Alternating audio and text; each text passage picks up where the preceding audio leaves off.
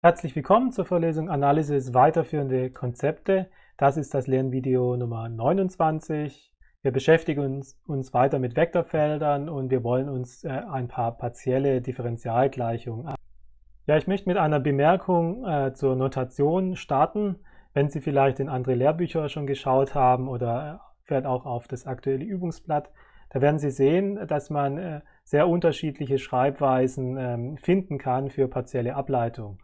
Und ähm, wir haben ja hier in dem Kurs äh, diese Schreibweise ähm, hauptsächlich eingeführt.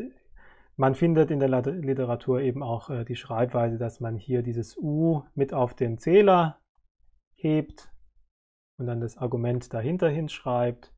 Oder ähm, man lässt äh, diesen Bruch ganz weg und schreibt nur ein Delta mit äh, einem tiefer gestellten xi oder man lässt sogar das x weg und schreibt einfach nur ein Delta i u an der Stelle x. Und wahrscheinlich ist diese kompakteste Schreibweise jene, die man dann später in äh, fortgeschrittenen Texten am häufigsten finden wird.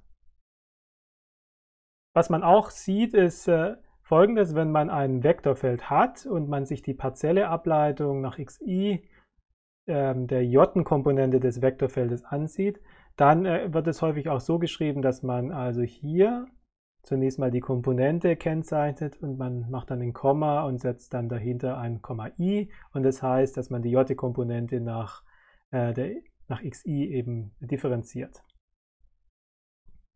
Dann äh, für diese ähm, äh, alphate äh, partiellen Ableitung zur Erinnerung, wir haben äh, dieses Objekt ja definiert im Kapitel zur, zu den Taylor-Entwicklungen und das Alpha war hier ein Multi-Index und man hat hier also ähm, äh, ja, eine Verschachtelung von partiellen äh, Ableitungen vorliegen. Statt äh, diesem Symbol schreibt man hierzu auch öfters einfach Delta und dann ein hochgestelltes Alpha U an der Stelle x.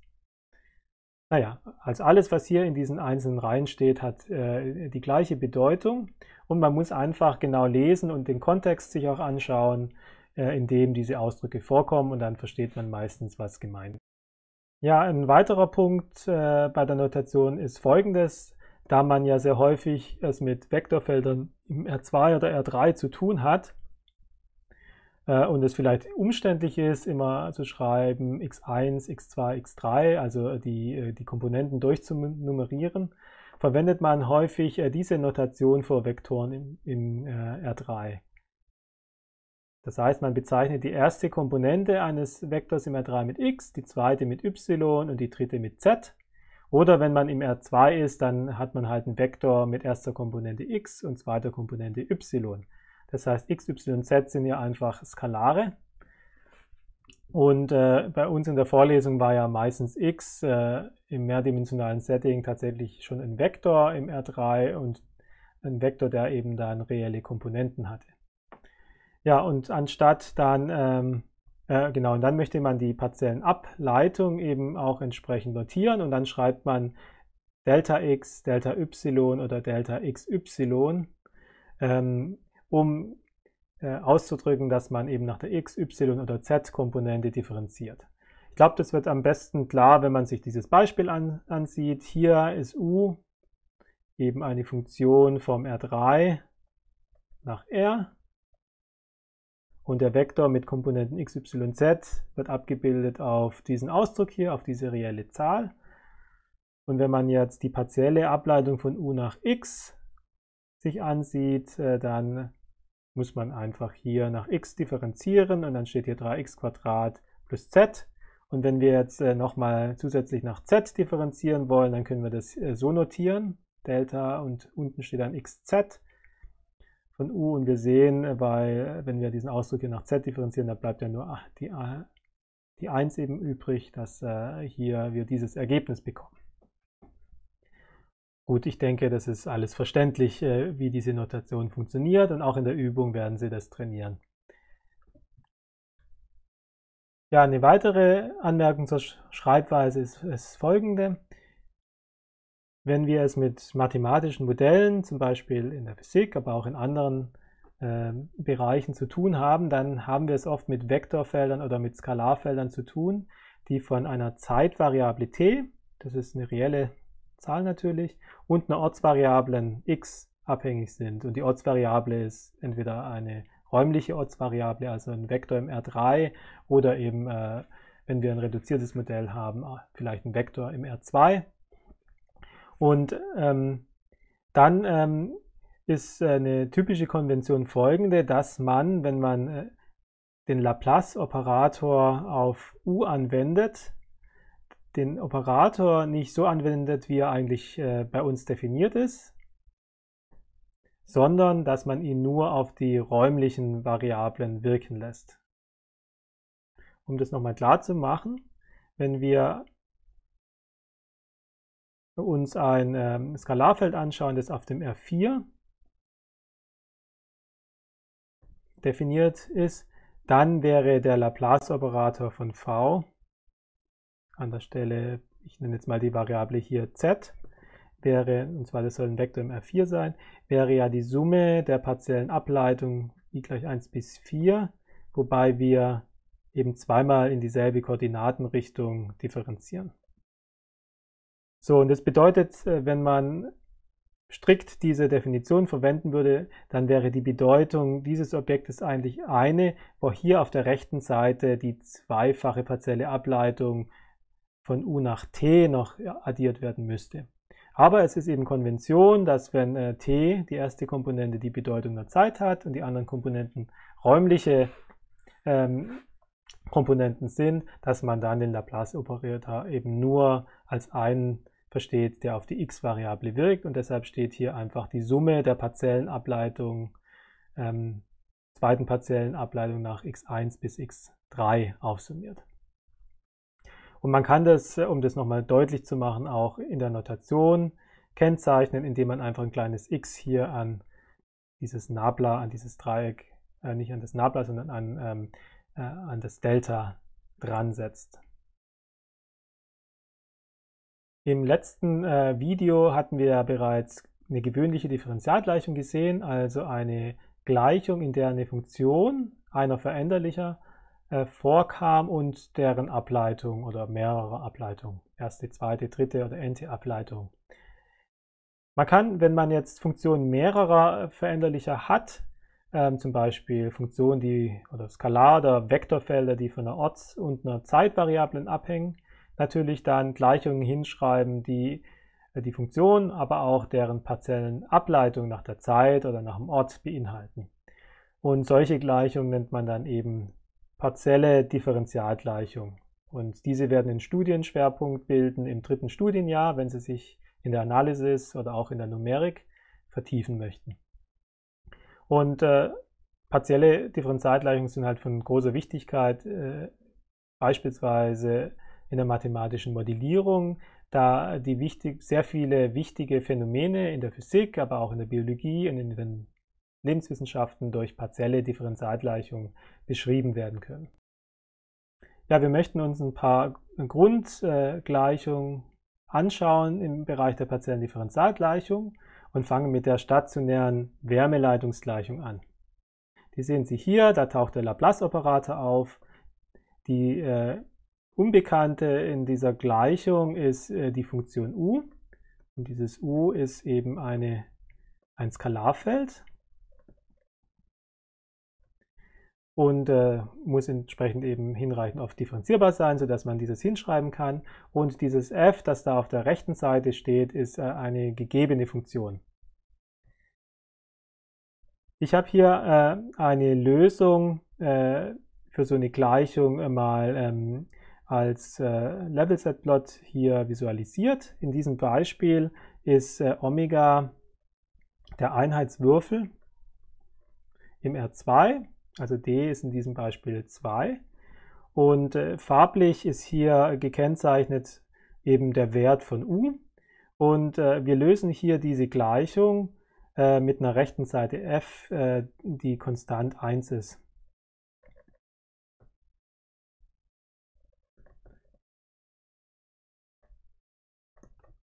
Und äh, zusätzlich äh, fordern wir hier, dass die gesuchte Funktion u 0 ist auf dem Rand des Gebietes, wo wir die Gleichung lösen. So, wie muss man das jetzt verstehen? Wenn u die Temperatur beschreibt, ähm, bedeutet diese zusätzliche Bedingung, dass die Temperatur auf dem Rand 0 sein soll. Und ähm, dann äh, die Bedeutung des, äh, der rechten Seite f ist eben eine Wärmequelle. Und dann muss man sich das so vorstellen, ja, wenn man äh, irgendwie einen, einen ähm, Körper erwärmt mit einer Wärmequelle, die äh, nicht von der Zeit abhängt, also zeitunabhängig ist, und äh, wenn äh, man sozusagen so viel Wärme immer abführt am, über den Rand des Körpers, sodass dort die, die Temperatur auf einen konstanten Wert ähm, ähm, eingestellt ist oder kontrolliert werden kann, dann bildet sich, wenn man lang genug wartet, eben ein zeitunabhängiges Temperaturprofil aus und das wird durch die stationäre Wärmeleitungsgleichung beschrieben. Und hier sehen Sie eben die Lösung. Sie sehen also, dass im Inneren äh, die Temperatur am höchsten ist und am Rand äh, eben die Temperatur am geringsten ist. So, diese Gleichung beschreibt nicht nur äh, die, die, Wärmeverteilung, sondern man verwendet diese Gleichung auch in Diffusionsprozessen, wenn U zum Beispiel die Konzentration von einer Substanz ist, die diffundiert. Und äh, es gibt äh, sehr, sehr viele ähm, Phänomene, die man in einem Gleichgewichtszustand durch diese Gleichung beschreiben kann. Ja, die zweite Gleichung, die Wärmeleitungsgleichung, hat äh, mit dieser ersten viel zu tun. In diesem Fall ähm, hat U auch wieder die Bedeutung der Temperatur oder äh, die Bedeutung der Konzentration, je nachdem, was man beschreiben möchte. Hier hängt U jetzt zusätzlich noch äh, von der Zeitvariablen t ab. Der Laplace-Operator wirkt hier, wie besprochen, nur auf die x-Variable, sodass, wenn sozusagen die Funktion u sich nicht mehr verändert, wenn die Zeit vergeht, und damit äh, wäre ja dann die Ableitung hier 0. Wenn man diesen Term hier streicht, dann äh, würde man einfach die stationäre Wärmeleitungsgleichung bekommen. Aber wenn man jetzt noch äh, die Zeitabhängigkeit berücksichtigen möchte, zum Beispiel, was zum Beispiel dann notwendig ist, wenn die rechte Seite die Wärmequelle auch zeitlich variieren kann, dann äh, muss man eben sich die Wärmeleitungsgleichung ansehen. Und auch die wird man dann später im dritten Studienjahr intensiv diskutieren. Hier in dieser untersten Gleichung handelt es sich um eine Wellengleichung. Und ähm, hier ist die unbekannte U eben auch äh, von der Zeit abhängig und es tauchen zwei partielle Ableitungen in der Zeit auf.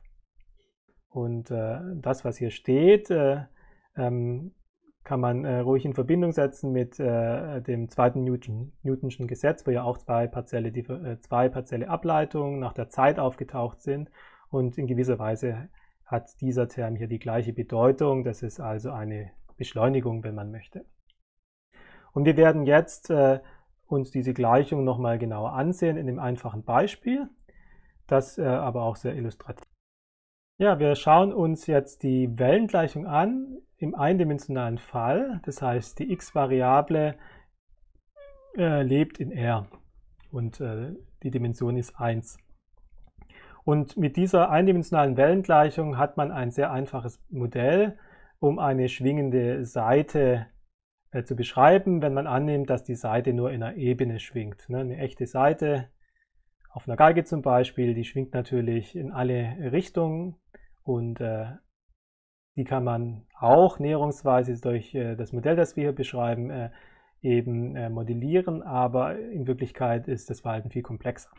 Okay, aber wie geht man hier vor? Also was wir uns ansehen möchten, ist eben eine Seite der Länge L. Ich mal die mal hier hin. Wir sagen einfach mal, äh, dass die Seite eingespannt ist und dass das eine Ende der Seite bei 0 ist und das andere Ende der Seite bei L. Und äh, diese Seite, wenn man sie ähm, anregt, durch Zupfen, Streichen, Draufhämmern oder wie auch immer, diese Seite wird äh, beginnen zu schwingen. Und wir müssen uns zunächst mal die Frage stellen, wie wir ähm, die, die ähm, Deformation der Seite beschreiben können. Ne, wenn die Seite schwingt, was passiert da? Da werden sich diese, wenn man einen Punkt auf der Seite markiert, dann wird wenn die Zeit vergeht, sich dieser Punkt äh, im Raum bewegen. Und wir nehmen jetzt einfach mal an, dass sich so ein Punkt eben nur nach oben oder nach unten bewegen kann, also orthogonal zur, ähm, äh, zur ähm, dieser Geraden, die ich eingezeichnet habe. Und die Gerade soll die Ruhelage der unangeregten Seite eben äh, beschreiben.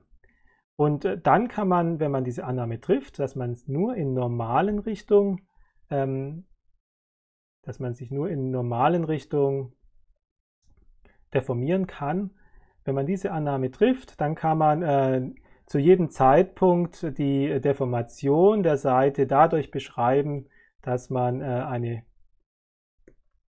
ein Skalarfeld U betrachtet. Dieses Skalarfeld ist auf 0 bis unendlich Kreuz i definiert. In dieser ersten Komponente wird die Zeit äh, eingesetzt. Das ist also der Raum der Zeitvariablen. Wir beginnen im Zeitpunkt 0 und möchten äh, die Schwingung bis in unendlich ferne Zukunft beschreiben. Und äh, in, in diesem zweiten äh, Faktor in dem Produktraum äh, steht ein Intervall 0L, was eben für die Punkte steht entlang der Seite. Und jedem Paar tx, also jedem Zeitpunkt und jedem Punkt auf der Seite wird jetzt eine reelle Zahl zugeordnet und die Bedeutung dieser reellen Zahl ist die Auslenkung der Seite zum Zeitpunkt t im Punkt x. Das heißt, dieser, dieser Vektor hier ist, äh, der Abstand hier ist durch die Zahl utx gegeben und die Konvention ist jetzt einfach, wenn utx positiv ist, dann liegt der Punkt überhalb und wenn es dann negativ ist, ist es unterhalb. Und so kann man für jeden Zeitpunkt äh, die Auslenkung einer Seite zunächst einmal beschreiben. Ja, und dann kommen eben äh, Gesetzmäßigkeiten der Physik, Erhaltungsgleichungen, die äh, letztlich dann ähm, auf diese sogenannte Schwingungsgleichung führen. Ich möchte jetzt nicht diskutieren, wie die zustande kommt, sondern ich habe es jetzt einfach hingeschrieben. Und das ist eine Wellengleichung, denn hier sieht man die zwei Parzellenableitungen nach der Zeit. Und hier äh, sieht man den Laplace-Operator im Eindimensionalen. Ne? Im Eindimensionalen, wenn x also eine reelle Zahl ist, dann äh, ist die Summe aller partiellen Ableitungen in die Koordinatenrichtung gerade hier durch diese zweite Ableitung von u nach x gegeben. Und das ist äh, die Schwingungsgleichung, das ist eine partielle Differentialgleichung. Und äh, man möchte, dass diese Gleichung gelöst wird für alle positiven Zeiten und alle Punkte x in i und eigentlich sollte ich hier besser schreiben in dem offenen Intervall 0l. Die Randpunkte möchte man jetzt nicht berücksichtigen. Und in dieser Gleichung kommt ein Parameter k vor, der äh, von den Materialeigenschaften der Seite abhängig ist, auch von der Masse der Seite, den elastischen Moduli und so weiter. Das ist nicht so wichtig. Das fassen wir zusammen mit einem k, das eben ähm, echt positiv sein soll. Gut, dann hatten wir gesehen, dass wenn wir diese schwingende Seite haben, dass die Randpunkte der Seite eingespannt sind. Das heißt, äh, dass am Rand, wenn wir hier die Seite irgendwie deformieren, am Rand soll keine normalen ähm, Auslenkungen eben vorhanden sein und das kann man durch diese Randbedingung ausdrücken. Die Randpunkte haben äh, die Labels x gleich 0 und x gleich L. Da ist man bei der 0. Das ist also hier x gleich 0 und hier ist man bei x gleich L. Ja, und äh, zu allen Zeiten soll eben an den Randpunkten die Auslenkung 0 sein. Das ist diese Randbedingung. Ja, und dann hat man noch eine andere Bedingung. Zum Beispiel könnte man sagen, äh, zum Zeitpunkt t gleich 0 soll die Seite ausgelenkt sein, so wie Sie es hier sehen. Das ist vielleicht jetzt äh, nicht so realistisch, aber das könnte man formulieren. Und das würde man durch diese Anfangswertbedingung zum Ausdruck bringen. Und das Zweite, was man noch festhalten kann, ist, wie die Geschwindigkeit zum Zeitpunkt 0 jedes Punktes auf der Seite ist. Das wäre diese zweite Randbedingung. Und so kommt man letztlich auf ein Modell, das aus einer partiellen Differentialgleichung besteht, einer Randbedingung und einer Anfangswertbedingung. Und Sie lernen dann im dritten Semester ähm, ähm, sowas zu untersuchen und Lösungen zu finden und auch äh, ganz abstrakt zu untersuchen, ob ähm, Lösungen überhaupt existieren und welche Eigenschaften diese dann haben. Was wir jetzt und was Sie jetzt schon machen können, ist, mithilfe eines Ansatzes zumindest eine Lösung für diese Gleichung bestimmen. Und der, den Ansatz, den, der fällt jetzt hier vom Himmel sozusagen, der ist hier angegeben. Wir ähm, schauen uns äh, eine Funktion u an von dieser Form. Und in dieser Darstellung hier gibt es zwei Parameter, nämlich c und k. Und äh, was man eben jetzt machen kann, ist folgendes. Man kann diese, äh, diese parametrisierte Funktion in äh, die partielle Differentialgleichung einsetzen und einfach mal überprüfen, ob man durch geeignete Wahl von c und k ähm, diese partielle Differentialgleichung lösen kann. Und sowas, so ein Vorgehen nennt man dann eben ein Lösungsverfahren, das auf einem Ansatz beruht und der Ansatz ist dieser hier. Lustigerweise heißt, äh, äh, spricht man in der Mathematik auch äh, in anderen Sprachen von einem Ansatz, also auch im Englischen wird der Ansatz Ansatz genannt.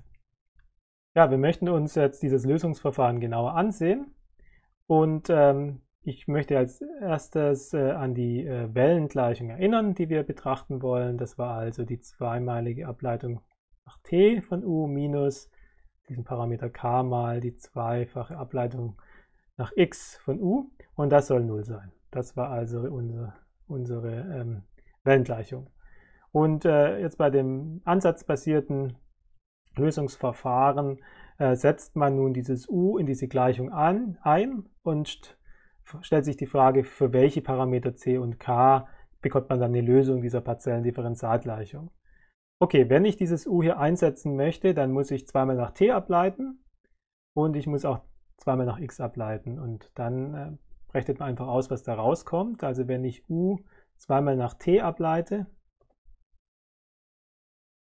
dann stellt man fest, durch das zweimalige Nachdifferenzieren und durch die Rechenregeln f von Cosinus, dass da gerade minus c Quadrat Cosinus ct Sinus kx rauskommt und das ist nichts anderes als minus c Quadrat u, t, x. Dieser Ausdruck ist ja nichts anderes als u. Und genauso sieht man das eben, wenn man äh, den zweiten, ja, die, die Ableitung nach x berechnet, dass da minus klein k Quadrat u eben rauskommt. Und diese beiden Terme setzt man jetzt hier ein. Und man stellt fest, dass dann eben minus c Quadrat u plus Groß K mal Klein k Quadrat u gleich 0 herauskommt.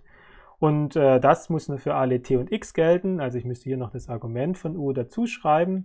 Und weil man t und x so wählen kann, dass äh, das Skalarfeld von 0 verschieden ist, ähm, stellt man fest, dass hieraus dann eben sich ergibt, dass äh, c Quadrat gleich Groß K mal Klein K Quadrat ist. Und ja, wie äh, so eine ähm, Lösung aussieht, äh, möchte ich Ihnen hier zeigen. Nun, äh, wir wissen ja, wie man ähm, Funktionen auf R visualisiert oder auch Funktionen auf einem Intervall 0L. Ähm, jetzt haben wir hier eine Funktion U, die ja noch von der Zeit abhängig ist und dann ist es eine gute Idee, wenn man sowas visualisieren möchte, dass man eben ein kleines Filmchen macht und äh, dann die Abhängigkeit von t eben äh, tatsächlich äh, als Zeitentwicklung der Funktionsgraphen darstellt. Das heißt, das, was Sie hier sehen, wäre jetzt ein Beispiel für, ähm, für ähm, so eine Funktion, wo die Parameter c und k richtig gewählt sind. Sie sehen hier so ein, äh, ein Teil ähm, der Sinusfunktion. Ich verrate Ihnen nicht, wie jetzt das k gewählt ist, aber das c ist passend dazu gewählt sozusagen. Und wenn ich jetzt das äh, Filmchen starte, dann sehen Sie, äh, wie äh, die Zeit eben vergeht und wie sich jeder ähm, Punkt x hier hoch und runter bewegt. Ja, und dann sehen Sie hier so eine Schwingung. Das ist eine Schwingung einer Seite. Sieht doch schon ganz schön aus. Aber Sie stellen zum Beispiel fest, dass zwar hier am linken Punkt äh, die Randbedingung erfüllt ist, dort äh, ist die Auslenkung u immer 0 für alle Zeiten, aber am rechten Punkt äh, ist eben die Auslenkung nicht 0. Dort ist die Seite sozusagen noch nicht eingespannt, die Randbedingung ist nicht erfüllt ne? und wir haben hier für L gleich 1 gesetzt. Ja, wir müssen uns äh, also noch um die Randbedingungen kümmern und ich habe hier die Randbedingungen einfach nochmal hingeschrieben.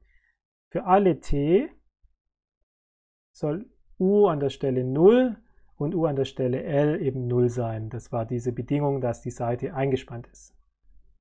Ja, und in diese Bedingung setzen wir jetzt wieder unseren Ansatz ein. Und da äh, dieses ja für alle t gelten muss, sehen wir, dass das Äquivalent dazu ist, dass eben, wenn wir nochmal das u ansehen, das Sinus k mal 0 das gleiche ist wie Sinus k mal L und das soll eben 0 sein. Das ist diese Bedingung hier. Und da sehen wir, okay, äh, k mal 0 ist 0. Da, äh, das ist also immer erfüllt für die äh, linke, für den linken Punkt der Seite. Und aus dieser Bedingung hier folgt nun, da wir die Nullstellen des Sinus eben kennen, das sind nämlich alles Vielfache von Pi, dass äh, k mal L sich schreiben lässt als ein n mal Pi mit einem n aus n. Und wir haben somit eine zweite Bedingung an äh, das k gefunden und diese Bedingung hängt jetzt von der Seitenlänge L eben ab.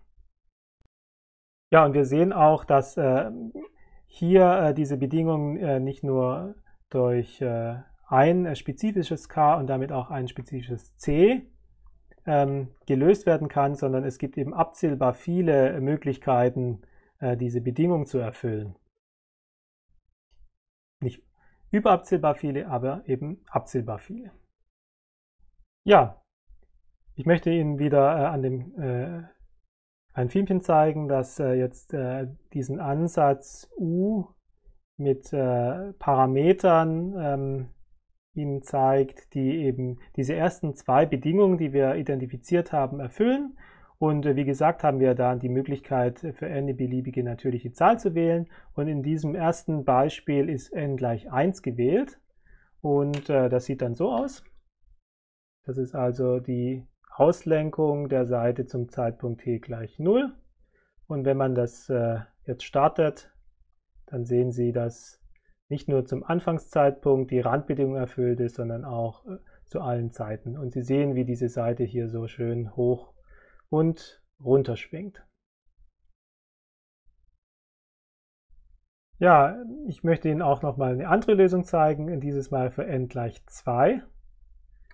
Ähm, in dem Fall sieht die, unser Ansatz, wenn wir C und K gemäß dieser Bedingung hier wählen mit n gleich 2, eben zum Zeitpunkt 0 so aus, wie Sie es hier, äh, hier sehen. Und wenn wir jetzt hier das Filmchen starten, dann sehen Sie, wie eben die Seite so hoch und runter schwingt. Und wenn man genauer hinsieht, hinsieht dann sieht man, dass zum Beispiel dieser Punkt äh, ähm, doppelt äh, so häufig in dem gleichen Zeitintervall wie zuvor äh, diese Nulllinie passiert. Das heißt, wenn man in Frequenzen denken möchte, dann hat diese Schwingung die doppelte Frequenz. Ja, hier sehen Sie ein letztes Beispiel äh, für n gleich 5. Sie sehen auch, dass es hier 1, 2, 3, 4, 5 äh, Extrema gibt. Das ist wieder unser Ansatz, äh, wenn wir die Parameter richtig wählen mit n gleich 5 und zum Zeitpunkt 0 sieht der Ansatz eben so aus. Und wenn wir jetzt das Filmchen starten, dann sehen Sie, wie das so schön hin und her schwingt. Und äh, jeder Punkt wird jetzt äh, fünfmal so schnell sich äh, nach oben und unten bewegen wie beim ersten Beispiel, äh, wo n gleich 1 war.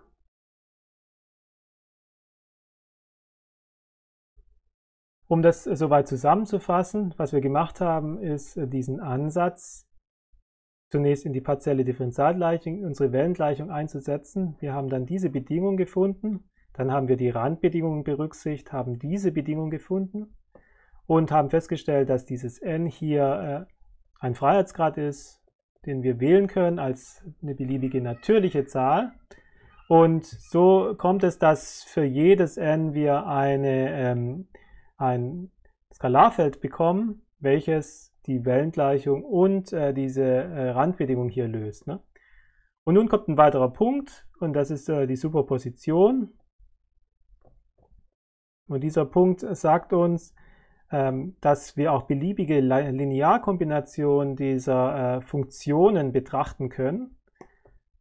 Also damit ist gemeint, wir können also neue Funktionen definieren, u, t, x, die wir schreiben als eine Linearkombination, sagen wir n gleich 1 bis, äh, bis zu irgendeinem Groß-n.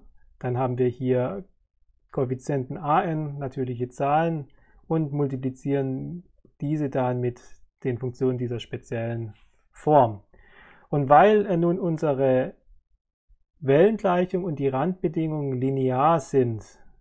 Ne? Wenn wir die Ableitung bilden von einer Linearkombination, dann ist es die lineare Kombination der Ableitung. Und so ist es auch, wenn wir äh, der Fall, dass wenn wir diese, diese Differentialgleich, diesen Differentialoperator auf eine Linearkombination anwenden, dann ist es die Linearkombination der, ähm, der, ähm, der einzelnen Terme und da jeder einzelne Term hier die Differentialgleichung erfüllt, erfüllt auch die Linearkombination die Differentialgleichung. Wir sehen also, und das kann man einfach nachrechnen, dass äh, Terme dieser Art, Skalarfelder dieser Art, eben auch ähm, diese, beiden, diese beiden Gleichungen hier lösen. Und das wollen wir uns auch noch kurz ansehen. Ja, und zwar schauen wir uns äh, die, den Fall an, wo dieses Groß-N 100 ist. Das heißt, wir werden die ersten 100 UNs aufsummieren. Man nennt die UNs übrigens auch äh, äh die Obertöne. U1 ist der Grundton, U2 ist der erste Oberton und so weiter. Ähm, und so summieren wir den Grundton und die ersten 99 Obertöne auf und die Amplituden, die ANs, die Koeffizienten, haben wir bei diesem Beispiel so gewählt, dass sie einfach 1 durch n sind. Das heißt, äh, die ähm, werden kleiner, je höher die Nummer des Obertons ist. Und äh, das sieht dann so aus, zum Zeitpunkt 0 haben Sie hier so eine, ja, so eine sägezahnartige äh, Schwingung. So sieht es aus zum Zeitpunkt 0. Und wenn wir das mal starten, dann sehen Sie, wie hier so ein Sägezahn hin und her läuft, von rechts nach links und links nach rechts. Und das ist eben eine Lösung für diese Wellengleichung.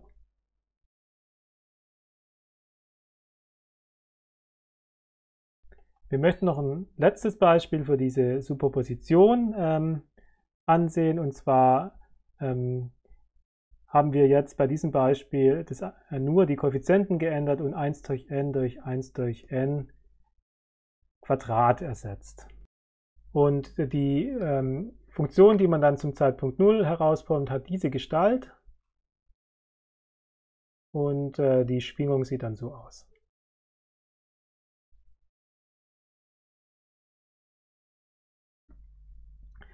Nun, man kann darüber jetzt noch ganz viel sagen. Eine Bedingung, die wir ja noch nicht äh, betrachtet haben, ist ja die Anfangsbedingung die Anfangsbedingung, die äh, eben fordert, dass zum Zeitpunkt t gleich 0 die Funktion äh, eine vorgegebene Form hat.